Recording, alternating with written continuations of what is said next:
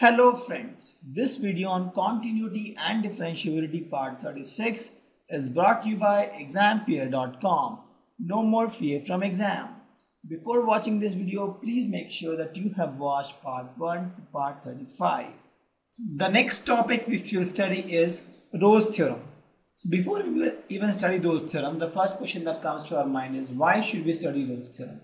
The answer is very simple, to find the maximum and minimum of a graph. So if you have a graph and you find this, the, the graph will have one maximum value and one minimum value, correct? So if you want to find the maximum or minimum of a graph, you need a Rolle's theorem. So with this objective, let's study Rolle's theorem.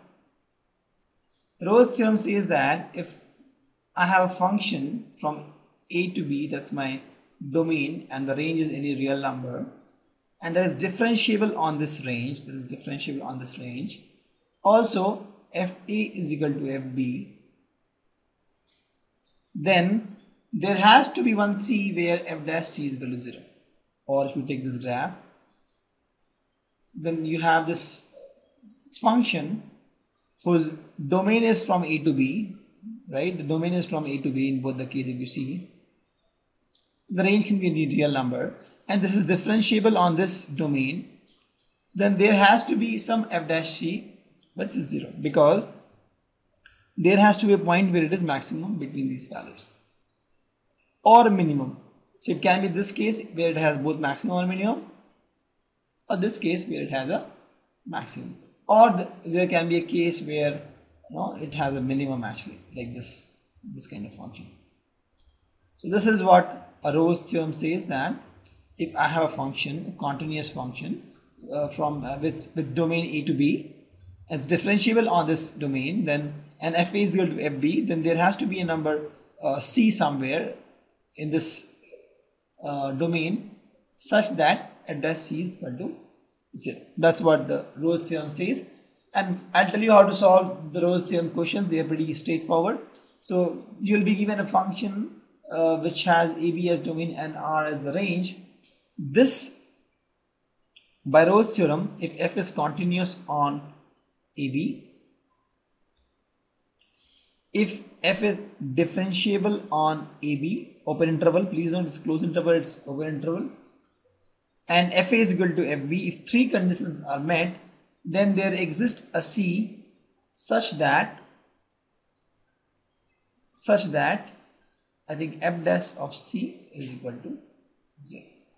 So this is what Rolle's theorem says and this is how we'll solve the Rolle's theorem question. So if it is continuous, it is differentiable and f is equal to fb, three conditions are met, then there exists a c such that f dash c is equal to 0.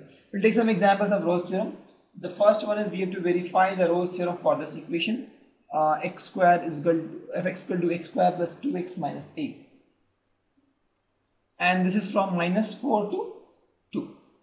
So we know that this is a polynomial function. It is continuous. Since it is continuous, it is differentiable also. Correct? So this first two condition is satisfied. The third condition f is equal to fb. Let's try that. So let's find f of minus 4. That becomes minus 4 square x square plus 2 into minus 4 minus 8. Correct? That is 16 minus 8 minus 8 that is 0 so f of minus 4 is 0 let's find f of 2 this I found. Let's find f of 2 is nothing but 2 square plus 2 into 2 minus 8 that is 8 minus 8 because 2 square is 4 4 plus 4 is 8 8 minus 8 is 0 so that is f of 4 minus 4 is equal to f of correct? That is f of a is equal to f of b. If I assume this is a comma. Thus I can say that Rolle's theorem is applicable. That means there exists a c such that f dash of c is equal to 0 let's find f dash of x then. F dash of x is nothing but if fx is equal to my x square plus 2x minus 8 f dash of x will be x square becomes 2x 2x become 2 and 8 becomes 0 and this is equal to 0 because there exists a c I mean f dash of x is this so f dash of c is nothing but 2c plus 2 and this is equal to 0 by Rolle's theorem and I can say c is equal to minus 1. So for c is equal to minus 1 my f dash of c is equal to 0 and also I know c is a member of minus 4 to 2. Please check c is lying in this domain. Thus my Rolle's theorem is verified. Very simple. For Rolle's theorem to be verified, first check it is continuous and differentiable. If yes, find the value of Fa and Fb. We found they are equal. That means we can apply Rolle's theorem on this. Rolle's theorem says that if these three conditions are true, there exists a C such that f dash of C is equal to 0. We found f dash that is came out to be 2x plus 2. Then we found f dash C that is 2c plus 2 and it has to be equal to 0. Solve to get the value of C equal to minus 1 and we found that minus 1 is part of minus 4 comma 2 range thus we can say that Rolle's theorem is valid. We will take one more examples of Rolle's theorem. We have to verify whether the Rolle's theorem is applicable in these three scenarios. The first thing is fx is equal to uh, greatest integer function of x, x from 5 to 9. If you know that this guy is not continuous non-differentiable. We know this. If you draw the graph also of this, so this is something like this, right? This is not continuous non-differentiable. So Rolle's theorem is not even applied. Same thing for this. Since this guy is also greatest integer function, Rolle's theorem is not applied. Let's try this guy fx is equal to x square minus 1. In this case, if you see, it is a polynomial function, this guy. So the first two condition is true that is it is continuous and it is differentiable. Now let's try the third condition that is f1 should be equal to f2 correct third condition. So let's find the value of f1 is nothing but x square minus 1 that is plus 1 square minus 1 that is 0. What is the value of f2?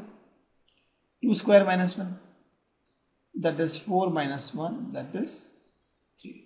so I can see that F1 is not equal to F2. Correct? Since this is not equal, I can say that Rolle's theorem is not applicable in this case. Now, this is what Rolle's theorem is all about. Now we will study a advanced version of Rolle's theorem and thank you. Visit examfear.com to watch free educational videos, try free online tests, get the best quality study materials, study from the best tutors and mentors, and much more. Thanks once again.